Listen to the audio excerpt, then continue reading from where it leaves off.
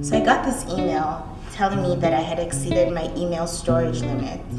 And in the email, it had a link for me to click on. So, like an idiot, I click on this link and it takes me to a login screen. And so, of course, what do you do? I log in with my username and password, and it did not increase anything. All it did was steal my username and steal my password. I mean, it looked real. So this thief sent an email virus to everyone on my contact list. My dad, my mom, like just everyone. and only God knows like what kind of damage they've done. Only God knows what else they stole before I changed my password.